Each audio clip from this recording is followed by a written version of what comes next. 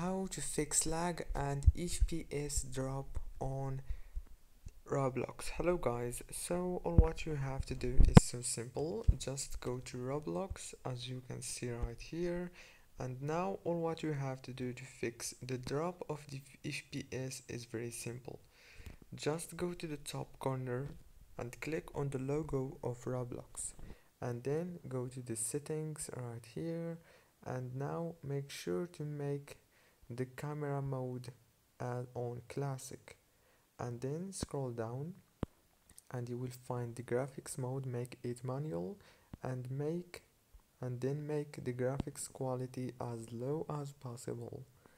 And then all what you have to do is go back and now let's try it. As you can see right here we don't have now the problem anymore don't forget to like subscribe thank you for watching